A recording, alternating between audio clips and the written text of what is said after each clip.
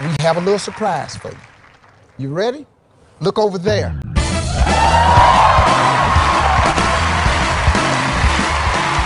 Paw, how you doing? I'm doing fine, sir.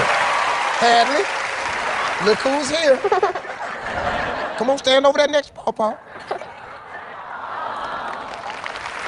We talked Paw Paw into getting on the plane. Oh, he didn't want to. Lord.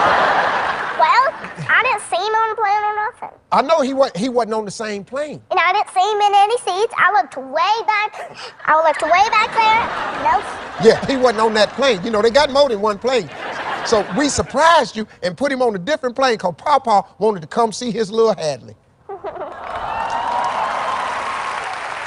so, Hadley, since Paw flew all this way to see you, would you say Happy Father's Day to him?